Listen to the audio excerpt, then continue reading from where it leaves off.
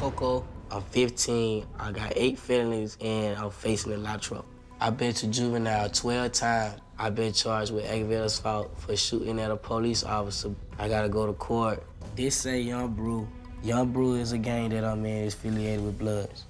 I carry a gun because nobody kill me because I got a weapon. Like, bow, bow, bow. Koko is a criminal, armed robbery, carjacking. He's a menace to society. This program is my last resort for him. Well, I swear to God, if I'm gonna run away from your ass, I'm not gonna never come back. Want some real blood? I'm tired of you! Oh, blood on my life, it's on my soul. You want to be hardcore? We go right around the corner, and I'll take all the off my waist, and we'll step in that room when nobody's at, and I want you to be hardcore. Those kids on the street corner don't give two about you You're replaceable.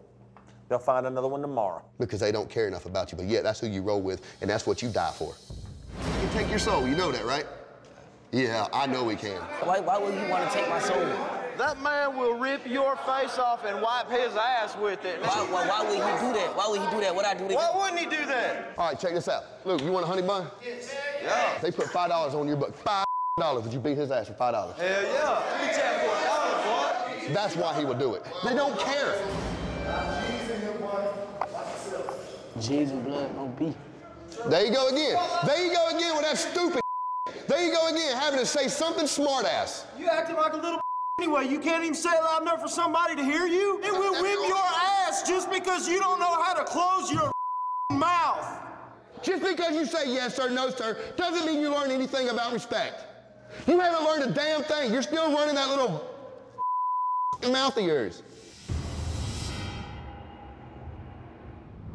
After the jail program, Koko was doing better. He was hanging around the house, he was communicating with me.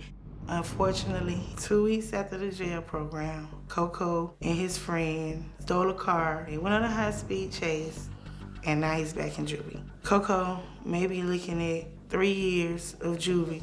I am glad that Koko went to the jail program. Unfortunately, he do need further help.